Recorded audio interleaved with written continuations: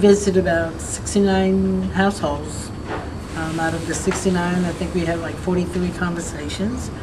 Um, Of course, while we were doing knocking and talking, um, getting people registered and uh, getting them out to vote.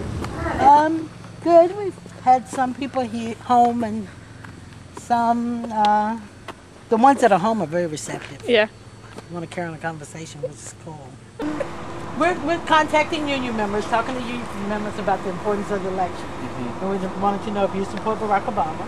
Yeah. Yes, we And you know the importance of the issues, the economy and gas prices, and all those things, health care. Absolutely.